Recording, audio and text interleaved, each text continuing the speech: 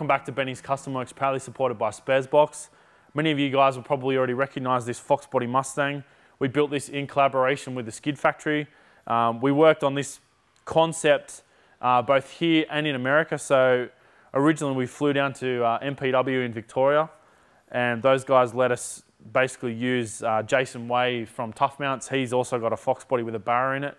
And, and they basically let us use that vehicle as a template to mock up all of our cooling system, our intake, our cooler piping, and all of our exhaust and turbo setup. So that allowed us to actually basically be a whole week in front when we got to America. Uh, we, we air freighted the engine. Hughes Performance actually shipped us the transmission directly from Arizona to, North, to South Carolina where we were working at Charleston Performance Solutions. Uh, and then we were getting all this done, got it running in-house. Our tuning fork helped us get it running. Unfortunately, we had an oil pump failure um, driving between South Carolina and North Carolina on the way to drag week. So long story short, uh, Robbie Abbott helped us uh, basically cobble two engines together because the Cresta engine actually also dropped a valve. So we basically had the good bottom end from the Cresta and the good top end from the Mustang original engine. And that allowed us to build those two engines together. Um, HED, Harrell Engine and Dyno were kind enough to, kind enough to open the doors um, after hours and let us pull the engine out, repair it, use whatever we wanted in that shop. And basically what you see here is, is as we ran the car at drag week,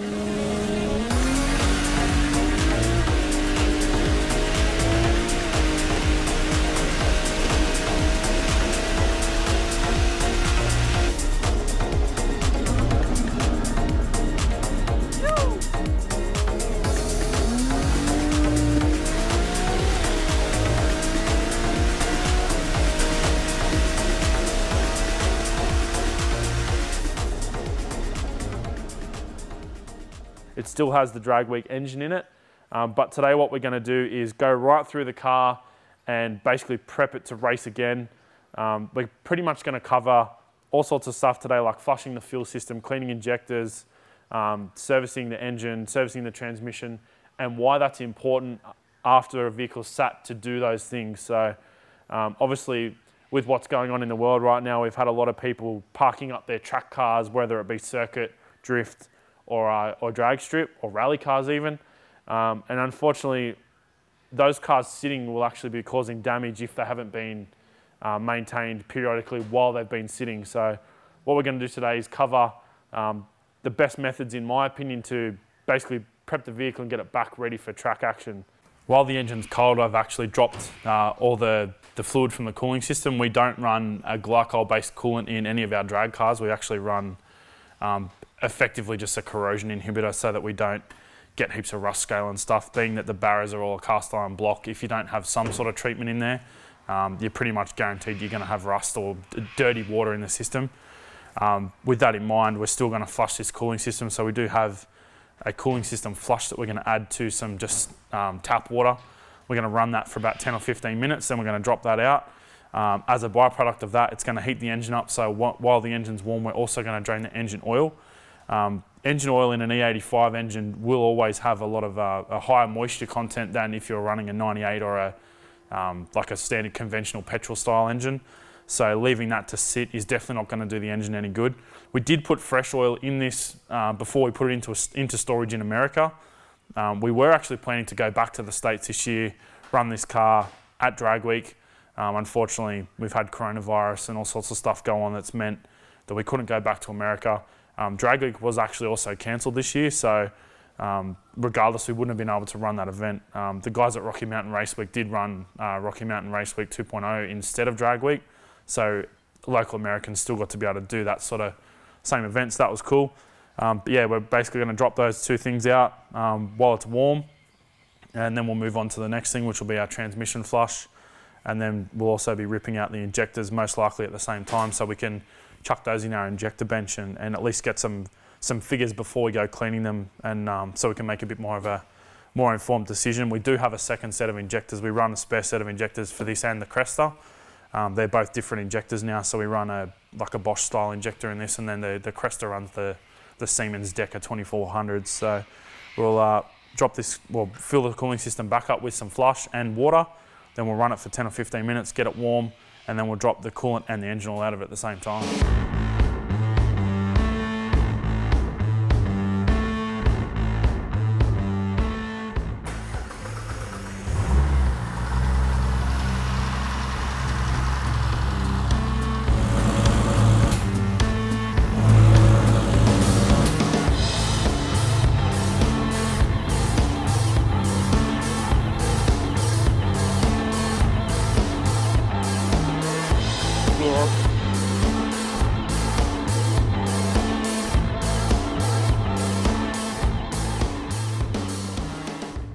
Now got our engine up to operating temperature. Uh, one thing that is worth mentioning, I actually removed the hose clamp from the bottom hose when I drained the radiator previously.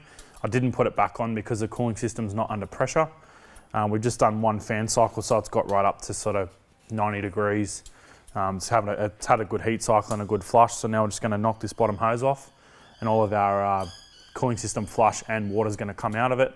Uh, the other thing we're gonna do before we refill it with uh, clean uh, corrosion inhibitor is actually wash out the overflow tank because there's a little bit of sort of rusty looking gunk in there. So we'll give that a good flush out before we go and uh, refill our system.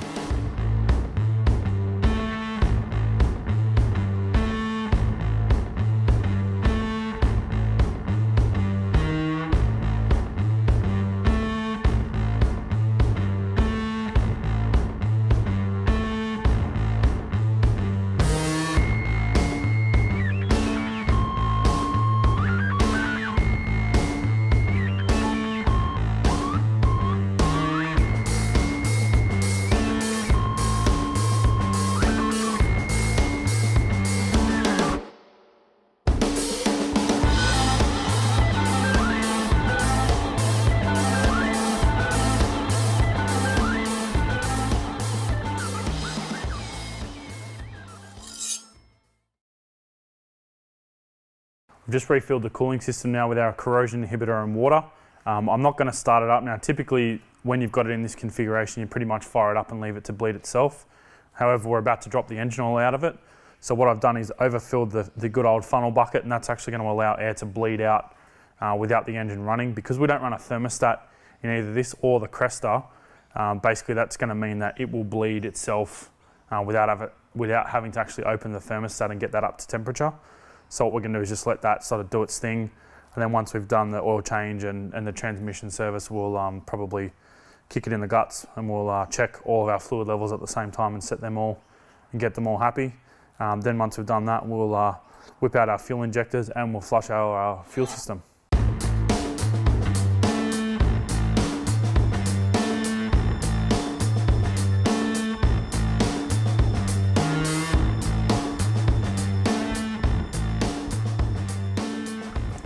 Ethanol in it. I mean, I'm no magical oilologist, but it doesn't smell like it's overloaded with E85. It's fairly dark too, which means we've also, this engine we run on petrol for all the transit and commute stuff and then E85 at the track. Um, the Cresta is the same, so generally if you're running this purely on E85, the oil is going to be a lot more of a sort of caramelly milky kind of colour. Um, but when you kind of introduce petrol into the oil system effectively, it, it makes the oil go black because there's more carbon burn off. Um, but this, this oil looks pretty good. Like I said, we did change it sort of late, late in the piece before it went into storage. However, um, with this sitting in it for a while, it will turn really acidic and that acid can attack things like um, your main bearings and your potentially even your crank surface or your cam surfaces. So it is um, pretty cru crucial to replace this oil before you go racing the car at the track. Um, much the same with the transmission. It's, it's, it's less of a problem with transmissions, but you can find that the acidity levels go up and then the, the acid in that, in that oil can um, damage clutches or all sorts of stuff. So for, those, for that reason, we're going to be changing the fluids today. Um, I mean, it's good practice as well, and oil's cheap. The transmission and the engine in this is uh, fairly, fairly expensive in comparison to fluid changes. So changing the oil just is good uh, insurance.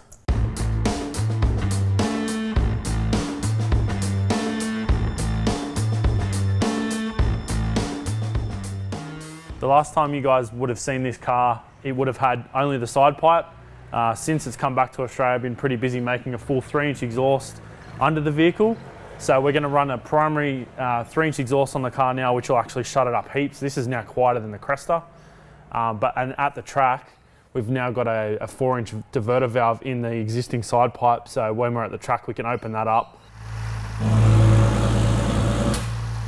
Uh, because basically if we're going to go back to this three inch, it's probably not going to flow enough gas to make the power that we need. So leaving the side pipe and being able to open that up at the track is going to be a massive advantage.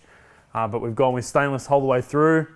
Um, it's kind of okay welded, I guess. I welded it, so it's not amazing. Um, but we've got a couple of V-bands on it. We've got a V-band at the top of the dump pipe, then we've got one at the basically the back of the dump pipe, and then we've got a flex straight after that. Then we've got another V-band uh, before the rear muffler. Um, the rear muffler has actually been recycled. It was the original uh, Fujitsubo stainless rear muffler that came with the Stagea. So it's cool to be able to sort of put that on something else and keep it going. Uh, one thing worth mentioning too, the dump pipe is actually hard mounted to the transmission because this is all moving together. And then obviously we've now got our V-band and our flex. Uh, then after, at, from this point on, the exhaust is mounted via rubber. Um, they're actually genuine Subaru hangers. We use uh, genuine hangers, the, the rubber part of the hanger, just because the material quality is heaps better than most of the aftermarket ones you can find. Um, these things go for 20 plus years, whereas a lot of the OE, the aftermarket ones start to rot after a couple of years. So for a little bit more spend, you actually get a much better hanger, uh, and these, these things just go forever. A good little tip when you're draining your transmission pan, uh, it's not foolproof. However, I normally drain the transmission into a uh, like a, a fixed oil drain pan purely so I can see how much oil comes out so when I'm refilling it, I've got a rough idea how much to put back in. Um, obviously, you always want to check your level correctly on your dipstick, but at least it gives you a ballpark of how much oil to put back into the transmission. We're only going to drop the pan. We're not actually going to do a full flush on this because I know the oil is fairly good. However, I just want to give it a bit of a freshen up to um, sort of keep it, keep it happy and keep it going.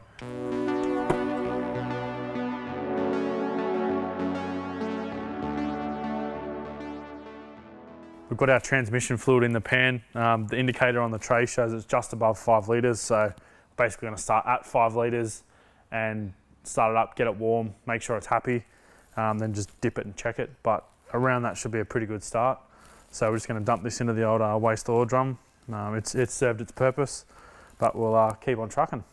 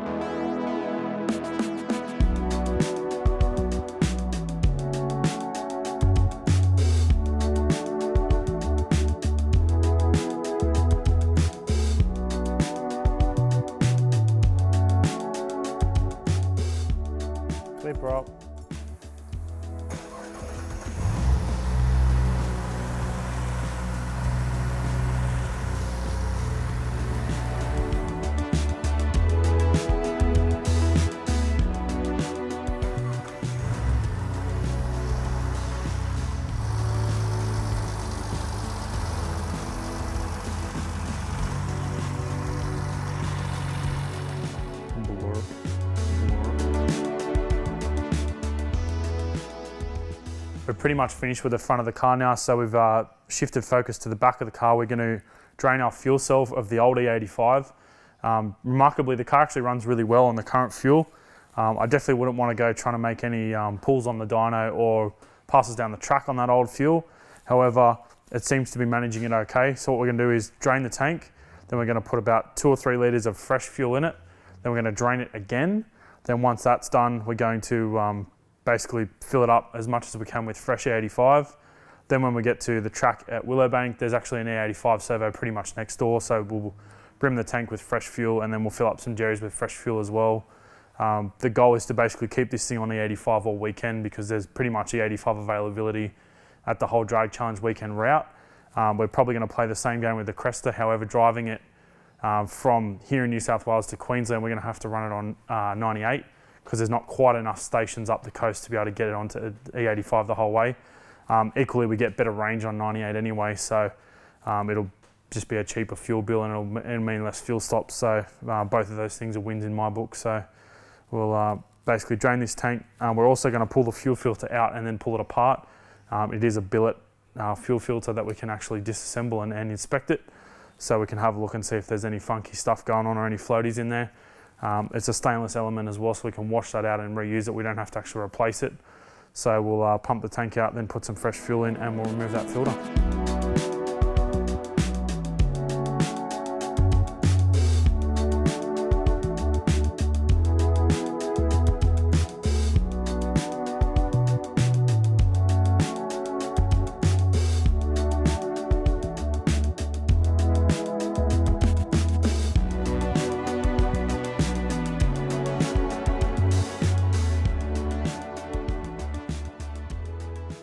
Pumped our fuel cell out. We've got about uh, 35 litres of E85 out of it. Um, it still smells fine. There's nothing sort of weird.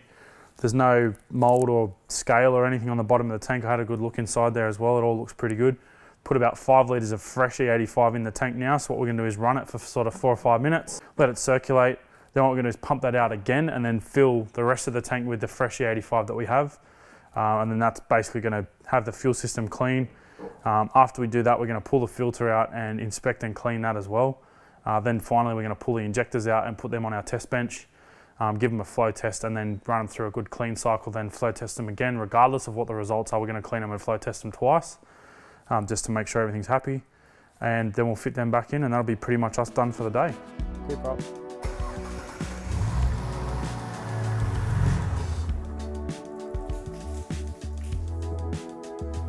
Standard. Should Probably got an airlock because it was like rising pretty quick.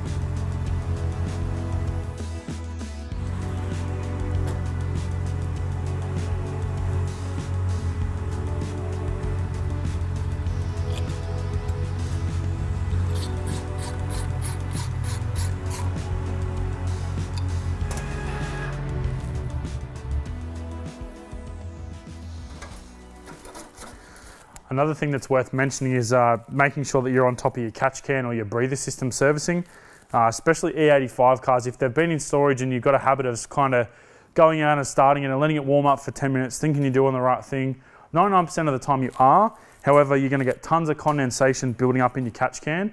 And if you're not onto that, you'll actually end up filling the system up and you'll get to a point where the can and the lines are full and you'll just start filling the sump with water. Uh, so if you are going to periodically go and start your race car or your, your street track car or whatever, however you want to call it. Um, make sure you're always cleaning and draining your catch can.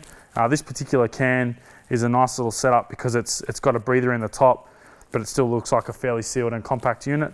Um, the one downside to the place we've installed this one is you can't get to the drain when it's in the car. Um, the inverse of that is it takes two minutes to pull it out and just drain it and clean it. So um, it's not a bad thing. But yeah, definitely keep in mind to clean your catch cans out if, if your car's in storage.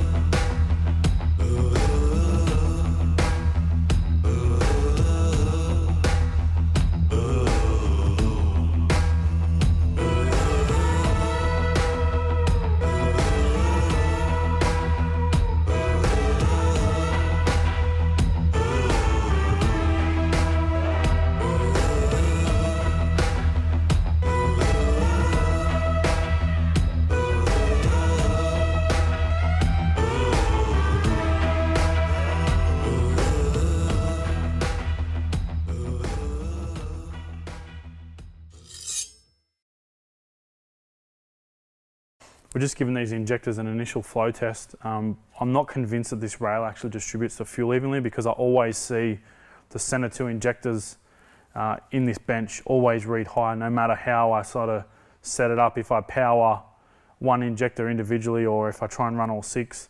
Um, bigger injectors specifically, I only run one at a time because these things actually consume more fuel than the pump inside this bench can put out. So I always flow test one at a time. Um, in saying that, even even only running one at a time, I don't think that the fuel distribution is even, uh, or the test fluid distribution, I should say, is even. Um, however, if I move these injectors around, I still get that same pattern in the um, in the flow, but I don't want to muck them up because they're currently one to six, and I want to put them back in the car one to six, because if there's any um, individual cylinder trims that have gone in, in the ECU, we don't want to sort of upset that or have to muck around changing the tune. So yeah, these have come out one to six, and I'll go back in one to six. So we'll uh, whip these out now and put them in the sonic bath, give them a good clean.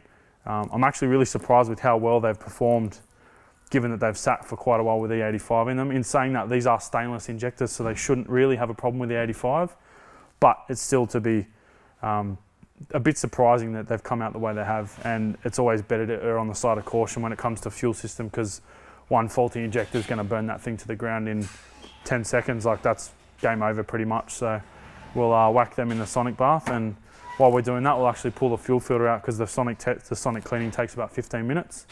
So we'll uh, whip these out and put them in the bath, and we'll uh, throw them back in the car. We'll change the O-rings too. Some of these O-rings aren't the best, so we'll uh, put some fresh O-rings on. Well, I drop these nuts again because it always happens.